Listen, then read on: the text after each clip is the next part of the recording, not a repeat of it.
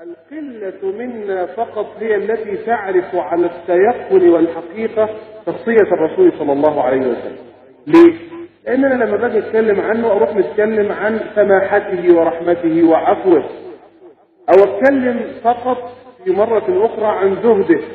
أو أتكلم في مرة ثالثة عن عبادته، وفي مرة رابعة عن شجاعته.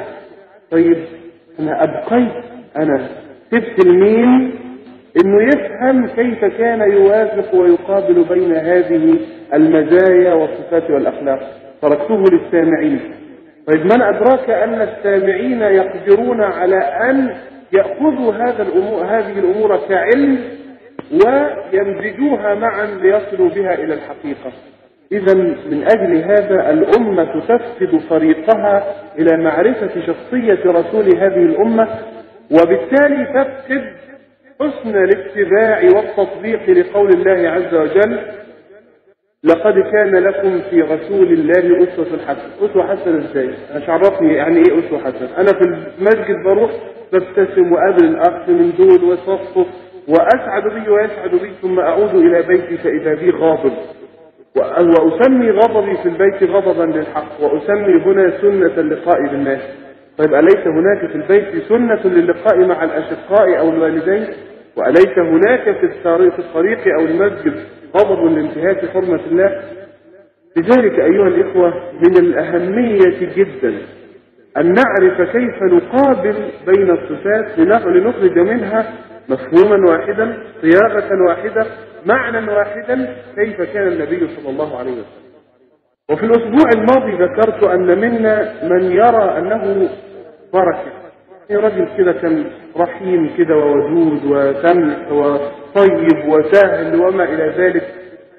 لكن إذا تعمقت في شخصية الرسول صلى الله عليه وسلم ستدرك أنه كانت له أبعاد أكثرنا أكثرنا أكثر واحد في القاعدين معروف بأنه على حسن اقتداء برسول الله صلى الله عليه وسلم هيلاقي نفسه يقتدي به في القشور والظاهريات فقط. إنما وقفت مثلا أمام كفاءة النبي صلى الله عليه وسلم كرجل كفر. كفر. أنا جاي أقابل واحد فأجد في صفاته الشخصية ما يعجبني. شوف أنا قلت إيه؟ في صفاته الشخصية. يعني إنسان هادئ متزن بسام مؤدب دقيق في مواعيده.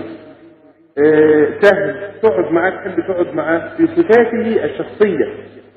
لكني بمجرد أن أكلفه بعمل إذا بهذا العمل ينهار بين يديه ليه؟ لأنه ليس كفءا. وما يعرفش الكلام ده كيف يديره. والعكس صحيح أيضا. قد أجد إنسانا في منتهى الكفاءة. أطلع على نتائج الشركة التي يقودها أو الجماعة التي يديرها. فأجدها أفضل نتائج نطقت بها الأوراق على الإطلاق. فأحب أن ألقاه فقابله ألاقيه قاعد يشتم ده وينهر ده وكذاب ومنافق ومرائي ولا يلتزم بالمواعيد. هذا المعنى يحل عندكم مشكلة كبيرة. يحل مشكلة أنك ترى أنك ترى الإنسان فيعجبك ثم ترى أو تسند إليه عملا فيفشل هذا العمل. وده بيحصل كثير تلاقي شاب فعلا يعجبك منه يعني شاب كويس. فتسند إليه عملا فيفشل هذا العمل تقول الله هذا الإنسان بصدقه وأمانته والتزامه كيف لما أمسك بهذا العمل فشل كل هذا الفشل؟ فإذا ما أدركنا أن الكفاءة شيء والأخلاق والمميزات الشخصية شيء آخر نستطيع أن نكتشف أن الشخصية الإسلامية على حقيقتها شخصية تجمع في طياتها بين هذين المجالين.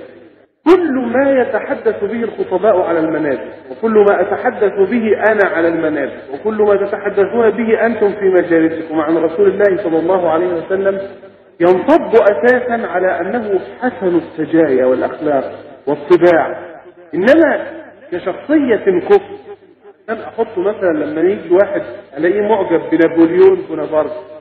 أو معجب بهتلر أو معجب بالذي أنشأ الولايات المتحدة الأمريكية أو معجب بملك من الملوك أو رئيس أو سياسي أو اجتماعي أو مصلح اجتماعي أو صاحب نظريات أو شيء من هذا القبيل.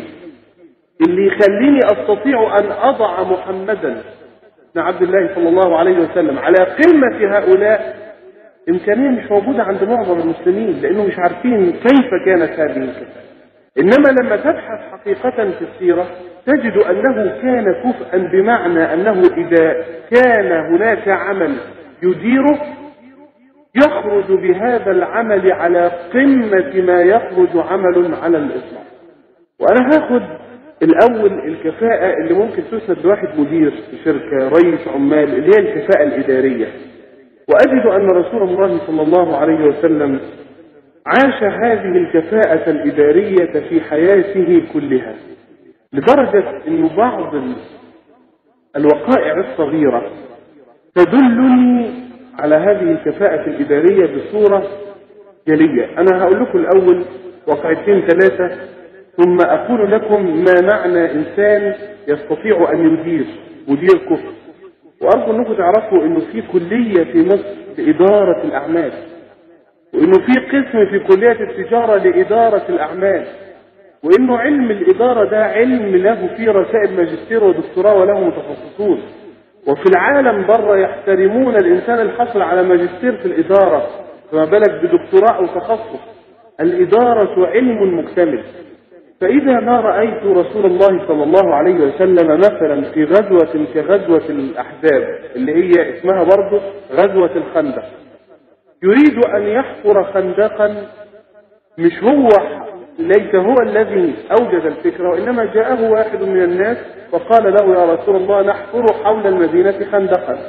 يبقى إذا الفكرة ليست نابعة منه لكنه قبلها ونفذها وجعل الأمة كلها تنفذ الفكرة بس مش فكرته.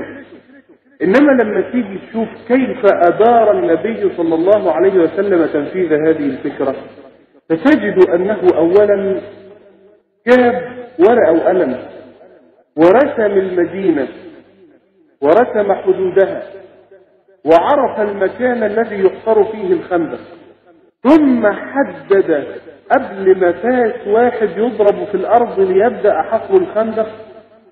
وده الفارق يا إخوة بين العمل الإسلامي التقريبي اللي كده بالبركة وربنا يسهل وهي جلسات وسلام وبين إنسان يريد أن يبني للإسلام فرح عمل ويعرف ويحدد الوقت والنسبة والزمن فيستطيع أن يصل إلى مرضاة الله. حدد. قبل ما يتحط فاس واحد على الأرض. هذا الخندق طوله قد إيه؟ عرضه قد إيه؟ عمقه قد إيه؟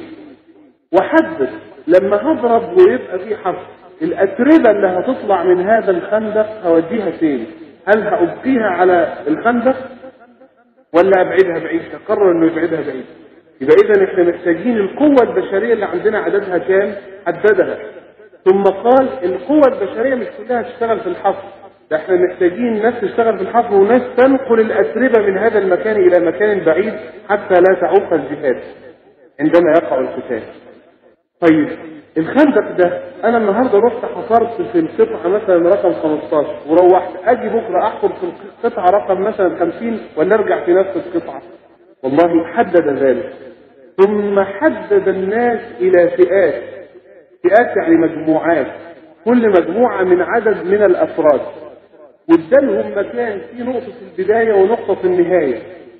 وقسم هؤلاء الناس مش على أي أساس. مش قال أيوه ده قوي وده نص نص وده ضعيف يبقى الثلاثة دول وحدة. أو المهاجرين مع بعض أو الأنصار مع بعض أو لا ده قسمهم. وهذا هو هي العبقرية الإدارية التي أتحدث عنها. قسمهم على أساس يحفزهم للعمل. يحفزهم للعمل. يعني إيه؟ يعني مثلا لو اننا لو أنني وأنت على تنافس معين قبل حفر الخندق جعلني ومجموعتي على جزء وجعلك ومجموعتك على جزء. لكي يحفز الهمة من أجل أن يعمل الناس عملا هم شغالين في الحفر أسرع. ما يضطرش إن هو كل شوية يقول له لا اشتغل أنت ما اشتغلتش مخصوم منك ما هو منه إيه هو بياخد أجر.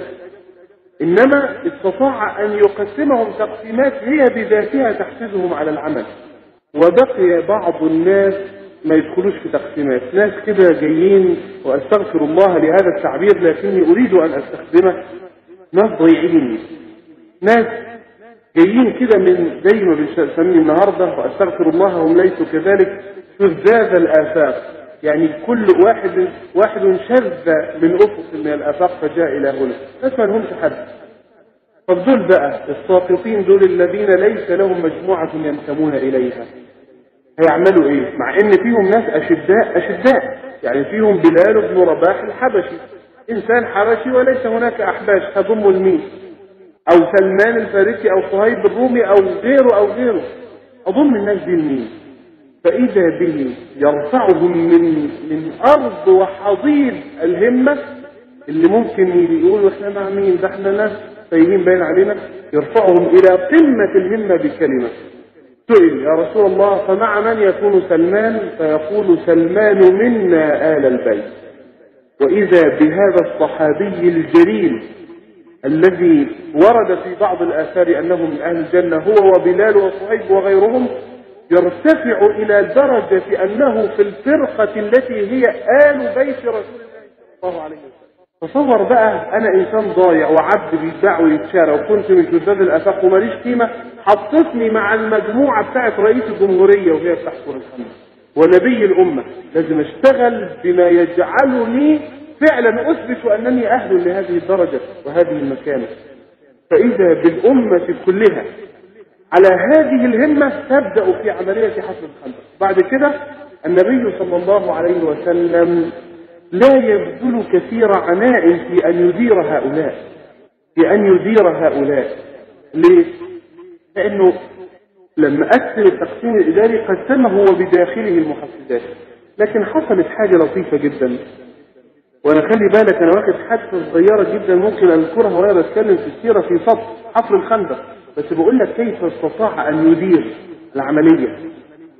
لما تيجي تنظر تلاقي في عندنا في الأطباء لما يجوا يتكلموا يقولوا إن في الجراح الكبير الذي يجري العملية الجراحية وفي ناس اللي بيحضروا العملية اللي بيجهزوا له الشغل اللي بيعملوا الحاجات يحلقوا للعيان الشعر يطهروا له الجرح يخدروه. ينيموه على سرير يقلعوه هدومه ويلبسوه الهدوم الثانية بتاعت العملية. يشوفوا يعقموا الأوضة يعدوا المعدات الجراحية يجهزوا الشاش والقط أنتوا عارفين الشغل ده بيسموه إيه ولا لا؟ عارفين الشغل ده مهنيا بيسموه إيه في العمليات الجراحية ولا مش عارفين؟ اسمه ديرسي وير ده المصطلح اللي هم بيطلقوه. لما تيجي ترجمه الترجمة الحرفية قوي ممكن تسميه الأعمال القذرة. آه يعني مش عايز أنا إنما ليه هم بيسموها الأعمال القذرة؟ لانها الحاجات التحضيرية اللي مش عايزة واحد مش عايزة الجراح العبقري اللي أنت مستدعيه من إنجلترا ولا فرنسا عشان يجري العملية ده واحد هيعد المعدات ويعقم ويحلق العيان يسموه ديرتي وير لما تيجي تشوف المقارنة بين الطبيب العبقري الذي استحضر والطبيب البسيط اللي بيعمل هذا الديرتي وير كما يسمونه اللي هو العمل القذر. تحس بأن هناك تفاوتا بينهم. حدث هذا في حفر الخندق أن بعض الناس رأت أن لها عملا دون العمل الأصلي. العمل الأصلي أن أنا بحفر الخندق. إنما في ناس بتشيل التراب وتجيب الفؤوس تودي الفاس في المخزن وترجع تحط الفاس ثاني وتودي التراب تنقله. فإذا برسول الله صلى الله عليه وسلم يختار لنفسه من ضمن أعمال الخندق هذا الديرتي ويرد كما يسمونه هذا العمل القذر كما يسمونه ليه؟ ليجعل همة الذين يعملون حتى في هذا العمل اللي هو مش حفظ وكان يرى سيد خلق الله صلى الله عليه وسلم الذي بلغ الستين والثالثة والستين من عمره وكان عدد الشعرات الشيبة في دقن 11 شعراية في في لحيته ورأسه متفرقة. كان أسود اللحية والتراب وهو يحمل هذا التراب يجلل لحيته ورأسه كله تراب في تراب. وينقل شيء المعطف وينقل التراب بهذه الصورة. فإذا بالأمة وإذا ولكن إذا صادفت الحافرين صخرة عاتية يا رسول الله صخرة مش عارفين؟ نكسرها فيأتي هو وكان قويا البنية بحيث ليس هناك كما ذكرت في الأسبوع الماضي ليس هناك من يماثله قوة أبدا. يأتي ويقول الله أكبر ويضربها فتتفتت تحت يديه. لكن بعد أن يؤدي المهمة الشاقة التي لا يستطيعها أحد يعود إلى عمله. المسألة يا إخوة أنا مش عايز أصيب أكثر في حفر الخندق والمشكلات اللي كانت منه وكيف لما وجد مكانا في الخندق ضيقا وقد جاء الجيش ماذا فعل؟ إنما اللي عايز أقوله لك أنه استطاع بصورة عامة أن تكون عملية حفر الخندق عملية إيمانية من تربوية من أعلى درجات الإيمان والتربية. ولذلك أنا لا يعني عندما أذكر الأمثلة التالية مش هأفيض فيها بقى. ليه؟ لأنه في كل أمر على هذه الصورة. يعني عندكم الهجرة لسه الناس كانت تحتفل بالهجرة. أنا حين أنظر لتخطيط النبي صلى الله عليه وسلم لليلة الهجرة أحس رجل كفء فاهم كويس جدا. فاهم الجهات الشمال والجنوب ويمشي جنوبا لأنه عايز يروح شمالا للتضليل ويأتي بمن ينقل إليه الأخبار ويعفي على آثار الأقدام ومن يأتيه بالطعام ويجد أنه لا يجد من المسلمين دليلا يدله على الطريق. فيختار واحدا من المشركين بس مشرك يعرف صفته كويس انه راجل زي ما بنقول يخدم أكل عيشه يعني لما ياخد قدرته ما يفشيش السر. وإذا به في عملية الهجرة ككل تشعر برد الأمانات الناس فاكرة إن رد الأمانات ده بس عشان راجل أمين لا ده صحيح راجل أمين. لكن طب ما هو راجل أمين كان يقدر قبل ما يهاجر بثلاث أربع أيام أسبوع يرد الأمانات للناس. إنما أراد الا يتفشى أن محمدا يرد الأمانات فيعرف أنه أما يعني بصدد عمل ضخم سوف يقدم عليه. أمور كثيرة وأعد الاستقبال والطريق والهجرة والناس هنا والأموال ومن يسبقه ومن يلحقه. لذلك تجد وهو يستقبل أفراد المسلمين. فاكرين المسلمين دول كانوا زينا كده كله يخش الجامع يصلي كله يخرج كله يحضر درس كله يروح كل لا! ده كان ينظر إلى واحد ويقول فلان اقضاكم فلان أقرأكم للقرآن فلان أعلمكم بالفرائض فلان سيف الله المسلول فلان أسد الله. الأذان انطلق به إلى فلان فإنه أندى منك صوتا أنا بستغرب لهذا الذي أحاط بأصوات أصحابه. أنا وأنت دلوقتي كل الأمة عارفين بلال بن رباح صوته حلو. ليه؟ لأنه بقى المؤذن لكن قبل ما يبقى المؤذن بلال بن رباح مين كان ياخد باله صوته حلو احسن من الناس ولا مش أحلى؟ ده عبد حبشي أسود جاي من الحبشة جه في الجزيرة العربية اتعذب واتضرب علشان مسلم وأبو بكر أعتقه دخل في زمرة المسلمين وخلصت الحكاية. لما واحد يرى في الرؤيا المنامية وهو نائم أن الدعوة للصلاة تكون بالأذان ويقول له يا رسول الله أنا شفت كذا أروح أنادي بهذا النداء فيقول له لا اذهب به انطلق به إلى بلال فإنه أندى منك صوت. أقسم لكم إن أنا كنت في منتهى الحيرة والعجب بهذه الإحاطة غير العادية. بقدرات الصحابة يرفع واحد من أنه عبد حبشي يمكن شايف إنه ملوش لازمة في وسط الناس ويضع مؤذن الامه لما اصلي كل الناس تأتي على باذاني أنا لأني أندى الناس صوتا فأنا أزعم إن أنا عارف الناس اللي قدامي دول ولا حتى عشرة منهم مين أجملهم صوتا؟ والله ولا اعرف ما أعرفش ولو غنوا قدامي مش هعرف لماذا؟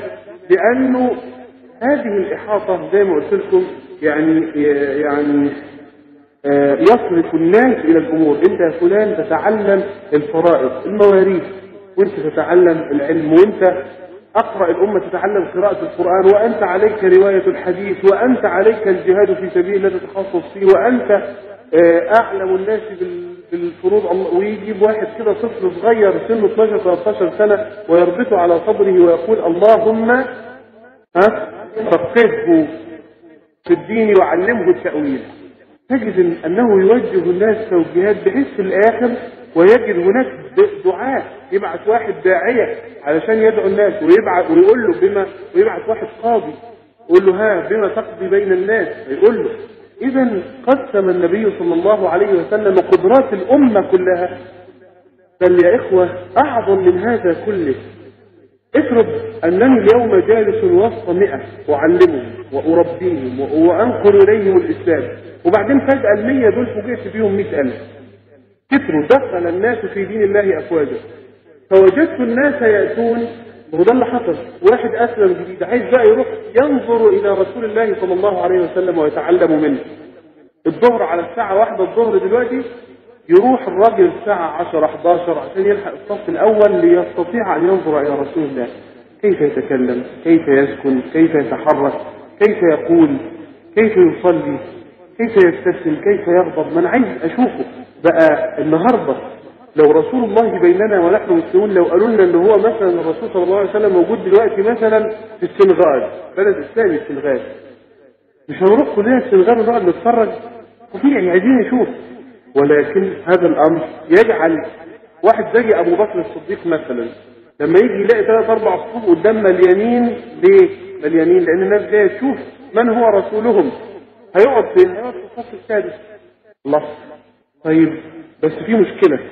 اذا أبو بكر علم من حال رسول الله صلى الله عليه وسلم 20 أو 21 سنة وبعدين السنتين الأخرانيين ما عرفش يبقى في الأول لأن الناس بتيجي تحتل الصفوف الأولى فبيصلي في أي مكان.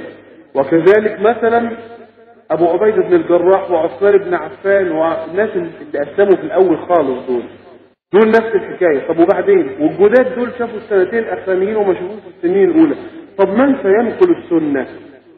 هتلاقي واحد هينقل ال 20 سنة وواحد هينقل الثلاث سنين الأخرانيين.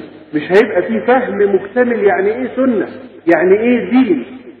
فإذا برسول الله صلى الله عليه وسلم من أجل أن ينجح عملية تعليم الدين للمسلمين وعايز المسلمين ينجحوا في تعلم الدين يقول ليليني منكم المهاجرون والأنصار. يعني اللي بقى أقرب ناس مهاجرين وأنصار فيرغم المسلمين على إخلاء الصفوف الأولى للذين شاهدوا الدين والعلم والسنة من أول الأمر عشان ينقلوه مكتمل عشان لما أجي النهارده أفتح كتاب في أصول الفقه ألاقي علماء الأصول يقول لي الأدلة الشرعية عشرة. الكتاب والسنة والإجماع والقياس وبعدين يقول لي من ضمنها فتوى الصحابي. ليه؟ لك لأنه أحط ويذكر ده صحابي شاهد إيه وما شاهدش إيه ووضعه كان إيه؟ وتجد مثلا من أصول مذهب بعض الأئمة الفقهاء أنه يأخذ بعمل أهل المدينة لأن أهل المدينة اللي هم سكان المدينة مش ناس شافت الرسول ساعتين ولا يومين ولا شهرين ومشيت بل لازموه فإذا انتشر الأمر بينهم فمعنى ذلك أنهم متفقون على أنها سنة أقر بها النبي صلى الله عليه وسلم هذا في الأمور التي تعم بها البلوى على الصحيح. الله إذا المسألة دي كانت حديث واحد بس يمثل كفاءة استطاعت أن تحفظ الدين لينتقل على فقه واعي للمسلمين فاللي أنا عايز أقوله يا إخوة أن رسول الله صلى الله عليه وسلم لو أنتم متصورين ليه بقى؟ أنا هقول لك لأن أنا ممكن وأنا بتكلم مرة إن هو يقرر ده وتجيله واحدة ضعيف في العقل يقول لها انطلقي بي مكان ما أنت عايزة أكلمك ويسلم على الصبيان صغار يعني ويداعب الضعفاء وسهل مع الخدم ومع العبيد و مش ممكن واحد يتصور أنه يأتي إلى إنسان أراد أن يقترب منه ويصلي معه الصف الأول إلا يقول له أهلا إزيك جزاك الله خير تصلي الصف الأول أهو كده يعني الصف الأول له فضل كبير. إنما هذا لا ينقص من أنه رأى أن المسألة لم تصل إلى الكفاءة الإدارية إلا إذا قال لا الناس اللي أنا هحبهم وبحاوطهم وشايفين إنهم قريبين مني دول لازم أقول لهم ابعثوا ابعدوا شوية للصفوف الأخيرة ليليان المهاجرون والأنصار لم ينقص من كفاءته حبه للناس ولا حب الناس له ولم تنقص أيضا من حبه للناس ولا حب الناس له أنه كفء لهذه الأمور الإدارية على هذا النحو. كذلك أيها الإخوة هناك كفاءة أخرى وأنا يعني مش عايز أطول في الوقائع ليه؟ لأنه السيرة اللي إحنا بنتكلم فيها كلها وقائع وكل وقعة هناخد منها إنما أنا باخد رؤوس موضوعات. الرسول صلى الله عليه وسلم كانت عنده نوع من الكفاءة أنا أستطيع أن أسميها الكفاءة الثقافية المعلومات عنده ما كانتش قليلة أنا الأول هقول لك واقعة تعتبر من عيون الوقائع. وبعدين أقول لك كان شكلها إيه. لما الرسول صلى الله عليه وسلم أرسل رسالة إلى ملوك العجم اللي هم بقى لما جت صلح الحديبية وتوقفت الحرب بينه وبين قريش بعث لعظيم القبط في مصر وبعث آه، كسرى ملك الفرس وبعت لملك الرومان بيسموه إيه؟ قيصر آه، أو هرقل وبعت ل- بعت لكل من حوله لزعيم الاحابيش لكبير الاحابيش فلما أرسل إلى هؤلاء جميعا فوجئ المحققون بكلمة في رسالة من الرسائل. غريبة قوي ومش عربية ولم يستخدمها العرب ابدا ومش موجودة ابدا وما تفهمش جاية منين. قال لها من ضمن الرسالة طبعا رسالة طويلة وفيها فقه وعلم ودعوة إنما وهنجيلها هنقولها إن شاء الله. الرسائل دي هندرسها ما هو من ضمن دراستنا السيره سندرس هذه الرسائل ما فيها من العقيدة وما فيها من عرض العقيدة والدعوة ومعرفته بثقافة وأخلاق وعاداتها أو بثقافة هؤلاء الناس وأخلاقهم وعاداتهم. لكن هنا قال له إيه؟ إسلم تسلم يؤتيك الله أجرك مرتين وإن لم تفعل فإنما على لملك الرومان. فإنما عليك اسمك واسم الاريسيين أو الاريسيين تدور في القواميس العربية إر- الريسيين دي ما تلاقيهاش عربي خالص. تدور في أي مكان لا تجد هذه الكلمة. تشوف بقى الكتب لما تيجي تترجمها في الهامش كده معناها يقول لك الإريسيين اللي هم العامة والزراع والشعب والصناع و... هم العمال والفلاحين يعني. لما قرأت كتب المحققين قالوا إن الإريسيين كلمة رومانية. كان الرو... دي كلمة رومانية خلاص ده نص الإجابة. النص الثاني كان الرومان يستخدمونها كمصطلح. يطلق على أصحاب المهن الحقيرة الصغيرة الذين كانوا يساوون في المجتمع. أغلبية كبيرة جدا اللي كانت توصل لنسبة 95 أو 99% من الشعب كانوا اسمهم الإريسيين في تقسيم الطبقات الرومانية. الله. من أدرى رسول الله وهو هذا الأمي الذي لا يقرأ ولا يكتب وقاعد في مكة ويراه الناس راجل بركة كده قاعد يقرب ده وينفق على ده فلوس ويقول لي ده كلمتين وماشية الأمور. من الذي أدراه بتشريح وتقسيم المجتمع الروماني وهذه الكلمة التي تطلق كمصطلح على هؤلاء لينقلها إليه لينقل إليه في طيات الرسالة رسالة أخرى. يا ملك الروم إن الذي يبعث إليك بهذه الرسالة ليس أعرابيا جلفا قد جلس في الصحراء داخل خيمة تظله راية وحوله غنمات وكلب يحرسها. يرسل إليك رسالة عن الجهية بل إنه يرسل إليك وهو يعرف. معنى الكلمة الرومية ومعنى معناها في التقسيم الاجتماعي لبلدك ويرسل إليه هذه الكلمة ولذلك كان هؤلاء عادة إذا تلقوا هذا ينفعلون لمثل هذا السر ولغيره. وقف على هذا بقى علمه بلهجات العرب. يجي له واحد مثلا يقول له يا رسول الله أمن البر الصيام في السفر؟ لكن هذا الرجل كان من قبيلة بتنطق الألف واللام مين فالرسول صلى الله عليه وسلم يجيبه مبتسما ويقول له ليس من البر صيام في السفر. ليس من البر صيام في السفر. فإذا بقى ده إنجليزي ولا؟ نعم هي لهجة عربية ينطق بها هذا الرجل. فإذا به يجد رسول الله صلى الله عليه وسلم يداعبه بها تأليفا لقلبه وهو يجيبه عن السؤال بجدية. ويأتيه شاب هندي يتحدث إليه فإذا برسول الله صلى الله عليه وسلم يحدثه في الإسلام ويكثر من ذكر الكلمات الهندية في هذا الكلام الذي يذكره له. لأنه اشتغل بالتجارة مع هذه القبائل لما جت مكة واشتغل بيها لما سافر وهو خارج مكة. ولأنه لما ذهب بقافلته إلى هذه البلاد علم منهم ما علم وحفظ شخصية كانت مثقفة ثقافة لا تستطيع أنت أن تعتقد أنها ثقافة عابرة بل تستطيع أن تقول فعلا أنها ثقافة كاملة. من أجل هذا يا إخوة وغيري أقول إن رسول الله صلى الله عليه وسلم لم يكن شخصية سهلة كان شخصية كانت شخصية عميقة. يستطيع أن يفهم ما يحيط به فإذا صدر عن أمر صدر عن نفس ممتلئة تكونا بمكونات القوة. مثلا أيضا لما أشعر أنه كيف استخدم هذه الكفاءة في الجانب السياسي مثلا. أجد أنه كان رئيس دولة يعرف جيدا من هو. أنا أقول لكم حاجة النهاردة لما تشوف أنه إسرائيل سقط فيها رئيس الوزراء اليهودي السابق وجاء الآن رئيس وزراء يهودي آخر بس يهودي على فكرة. يعني شيمون أو إسحاق رابين ده يهودي للعلم بس. يهودي خلوا بالكم من الكلمة دي لم ومع ذلك برغم أن السابق يهودي وأن اللاحق يهودي إنما هناك فارق يقولونه في الشخصيات. الرسول صلى الله عليه وسلم وهو يقيس الشخصيات من حوله. تشعر أنه يستطيع أن يزن الشخصية التي أمامه. لما يبعثوا له هم بعثوا له رسل مين ومين ومين. ده بعثوا له ناس كتير جدا. من ضمن من أرسلوه إلى رسول الله صلى الله عليه وسلم أرسلوا سهيل بن عمرو.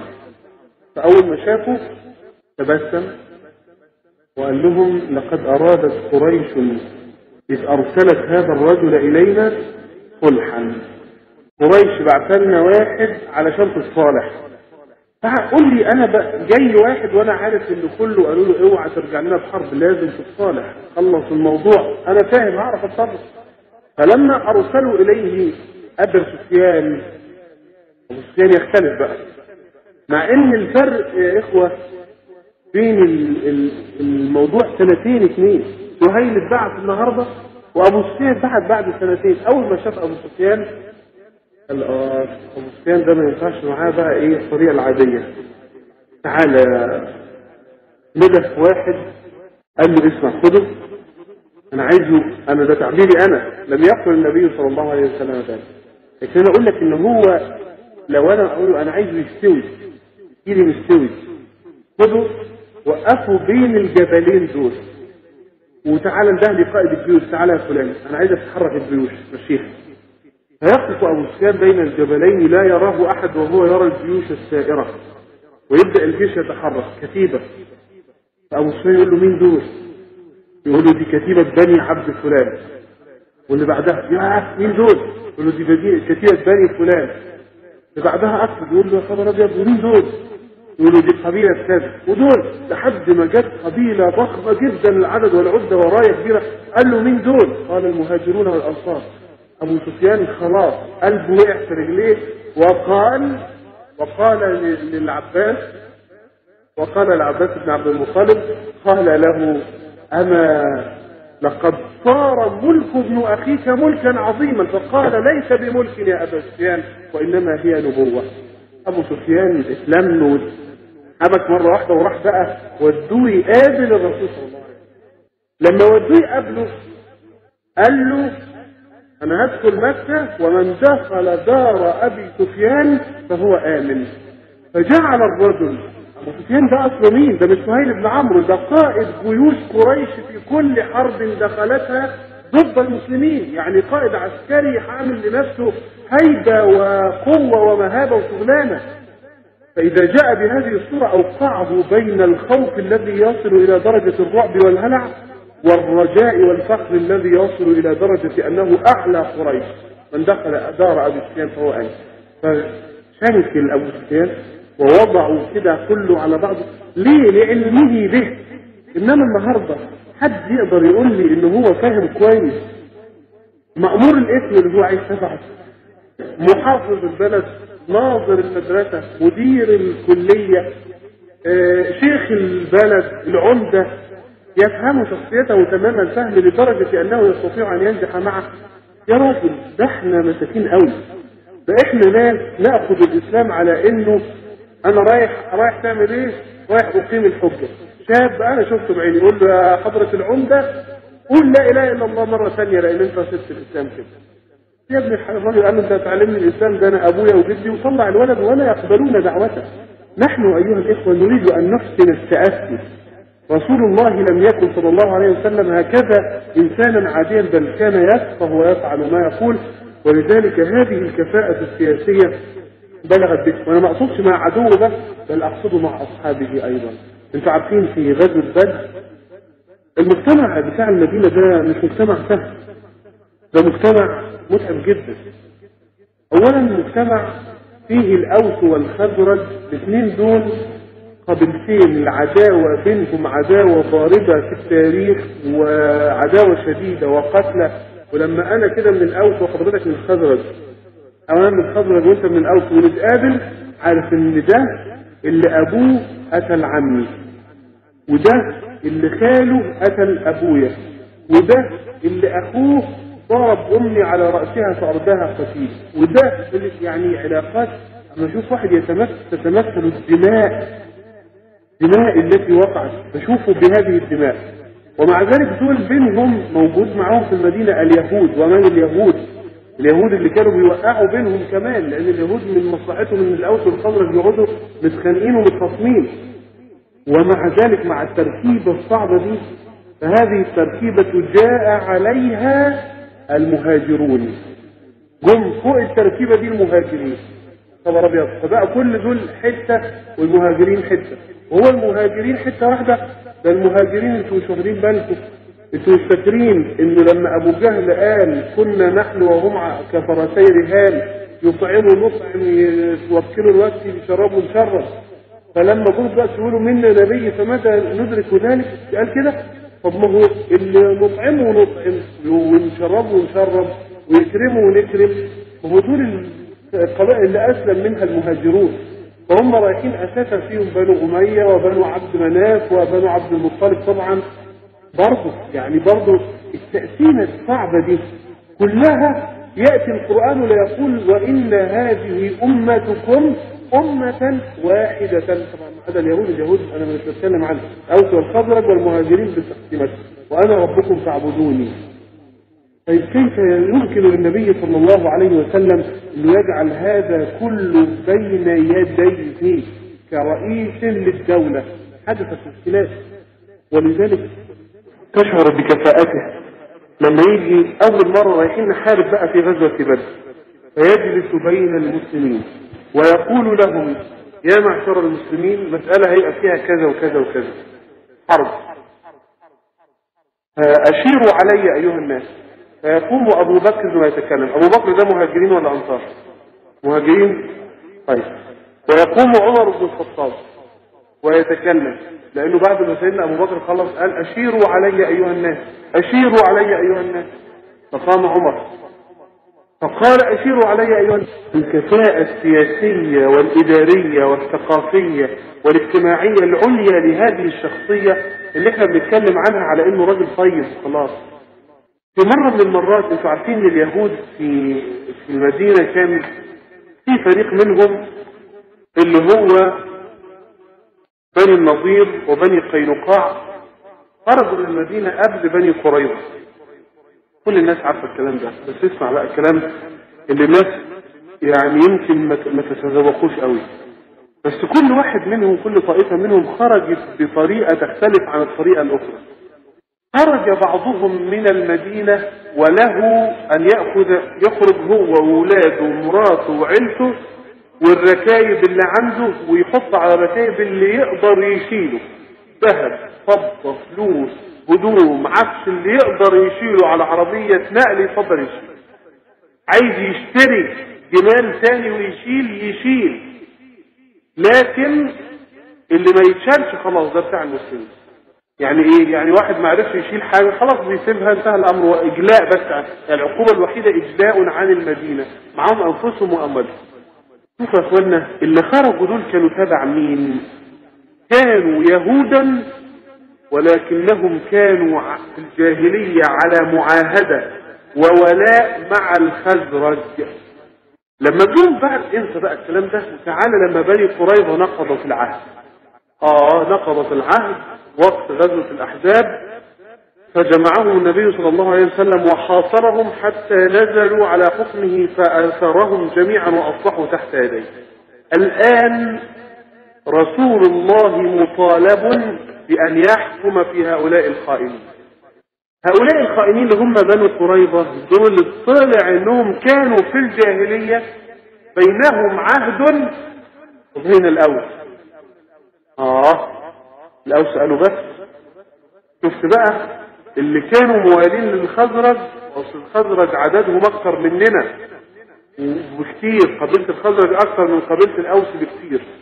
خرجهم بأنفسهم وأموالهم وبس الإجلاء هو العقوبة الوحيدة.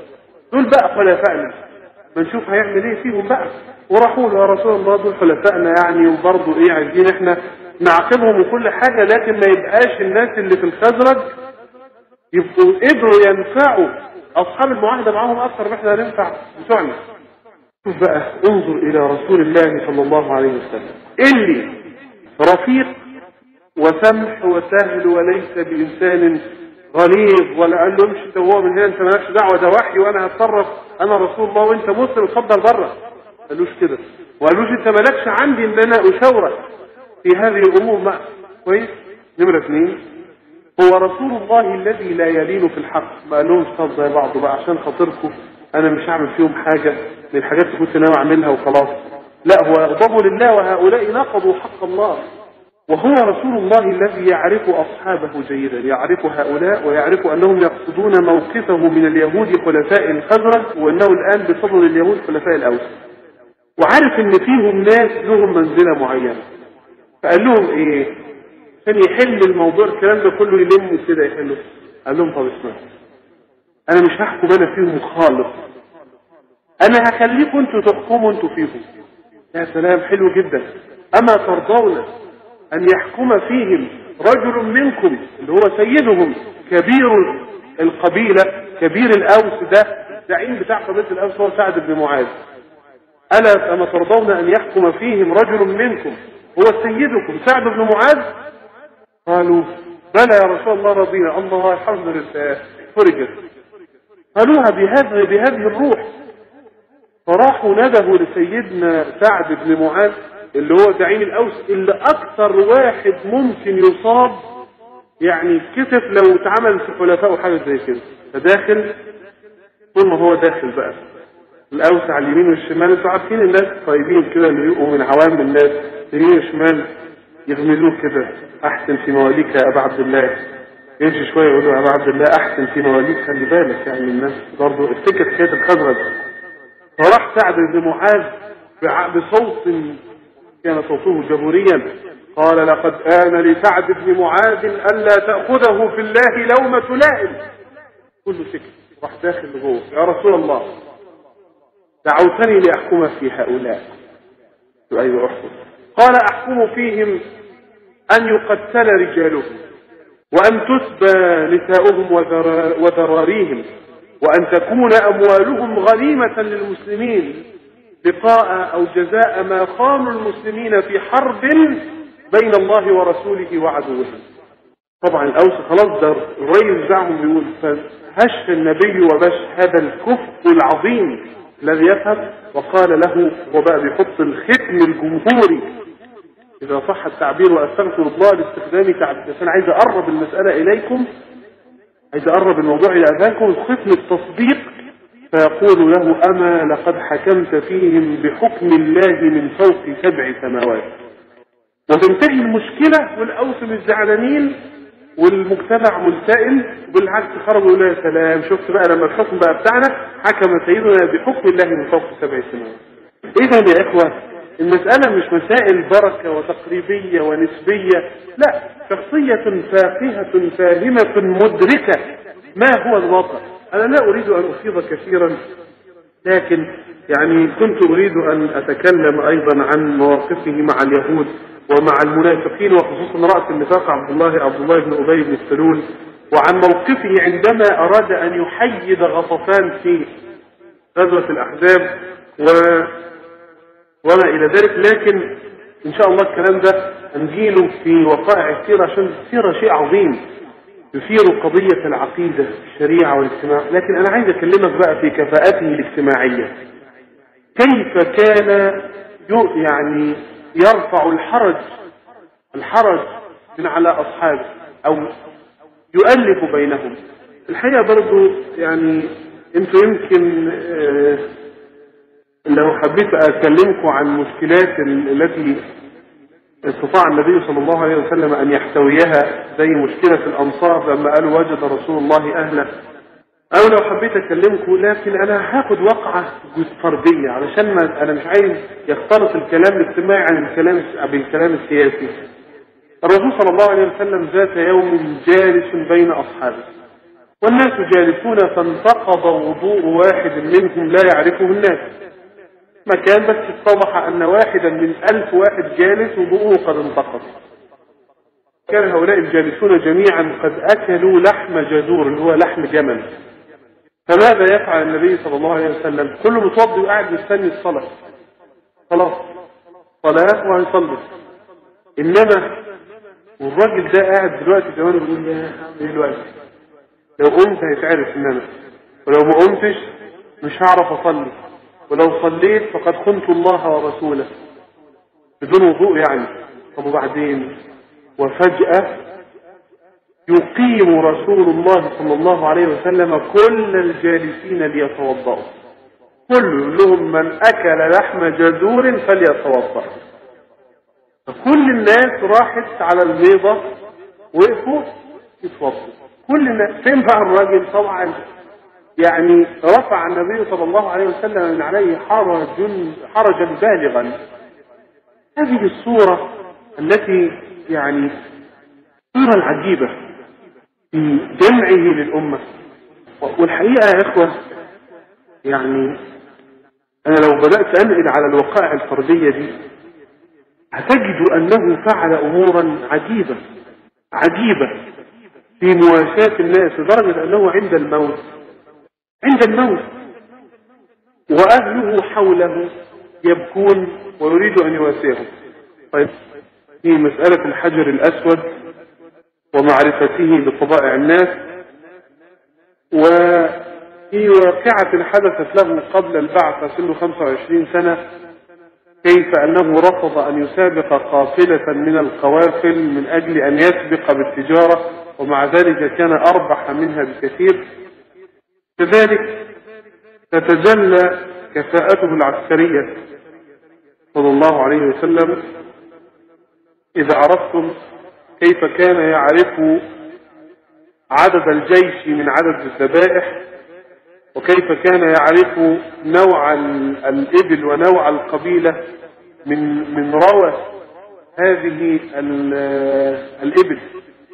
يعني أما يمشي يلاقي مخلفات إبل يعرف من روث الإبل قبيلة من هذه ويعرف إذا كان ده جيش ولا مش جيش ويعرف إذا كان جيش يبقى عدده قد إيه من خلال عدد الذبائح التي يذبحها يوميا. على تفصيل كثير لما يعرفها ويعرف الناس إزاي يعرف لهم ما دام كذا يبقى كذا ولذلك مش شخصية خامدة ولا خاملة مش شخصية مدركة.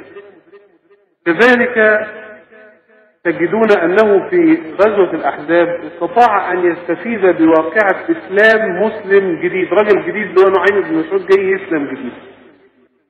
لسه بيسلم بس ده فرصة. أعمل إيه يا رسول الله؟ قال له إنما أنت فينا رجل. لو دخلت معانا أنت واحد زينا. إنما أنت دلوقتي لسه مش معروف فخذل عنا ما استطعت. ويرسله إلى اليهود وإلى الأحزاب حزبا حزبا بحيث أنه في النهاية وأظن الوقعة أقرب إلى أن تكون مشهورة لكن هنذكرها في وقتها بس عشان أنا مش عايز أقعد أذكر وقائع إنما استطاع نعيم بن مسعود ده لوحده. بهذه الخطة التي وجهه إليها النبي صلى الله عليه وسلم فانتعرفوا مش يعني خطة وإنما الحرب خدعة. قدر يعمل بنعيم بن مسعود خدعة. فاتفت الأحزاب في أرض الجزيرة العربية في الصحراء نصرته نصرته.